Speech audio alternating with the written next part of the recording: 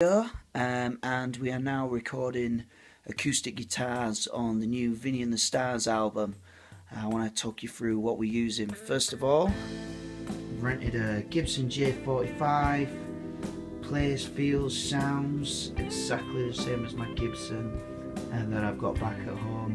It was just more cost effective and easier to, to rent the same guitar when I was here to get those same sounds two microphones. We've got a Rode Classic and an AKG 451 pencil mic. Here's my chair, my headphones. Uh, the green tape is where I put my feet, so I've got the mics in the right position every time. All important guitar tuner. Uh, this little headphone mix, so I can mix uh, the track just how I like it, get it sounding absolutely perfect through to the uh, control room. And here we've got the MTA mixing desk. And we are recording these two channels here.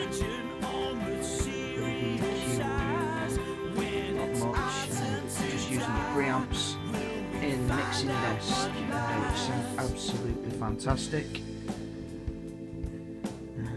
that is how we are getting the uh, Vinnie and the Stars acoustic sounds on the new album development and I'll give you a little update when we uh, when we come to record the vocals and, and, carry on with the mix and stuff like that. I hope you enjoyed this uh, mini acoustic guitar update and I'll catch you all soon.